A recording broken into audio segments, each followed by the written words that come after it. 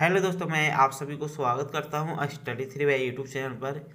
आज के वीडियो में हम आप लोगों को जानकारी देंगे, आधार कार्ड आपके बैंक खाता से लिंक है कि नहीं है, कैसे पता करना है। अगर आप ये जानना चाहते हैं तो आप लोग वीडियो को शुरू से लेकर अंत तक देखिएगा। इस वीडियो के अंदर आप सभी को कंप्लीट जानकारी मिलेगा कि आपके आधार कार्ड आपके बैंक खाता से लिंक है कि नहीं है, चेक करने के लिए। वीडियो को आप लोग शुरू से लेकर अंत तक देखिएगा, वीडियो आपको पसंद आएगा तो वीडियो को लाइक करके शेयर ज़रूर कीजिएगा। चलिए मैं वीडियो को शुरू करता हूँ।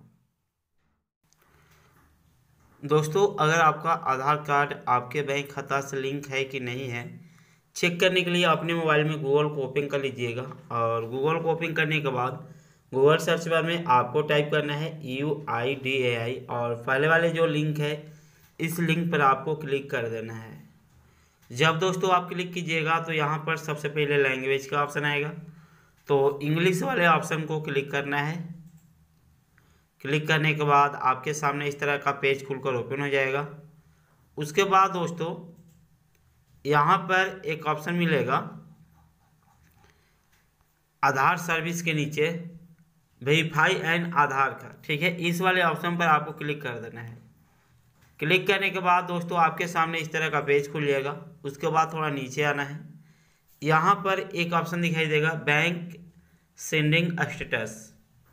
ठीक है, इस वाले ऑप्शन पर आपको क्लिक कर देना है। जब आप क्लिक कीजिएगा तो आपके सामने इस तरह का पेज खुलेगा। उसके बाद यहाँ पर आधार कार्ड के नंबर आपको डाल देना है। आधार कार्ड के नंबर डालने के बाद यहाँ पर कैप्चा का ऑप्शन है।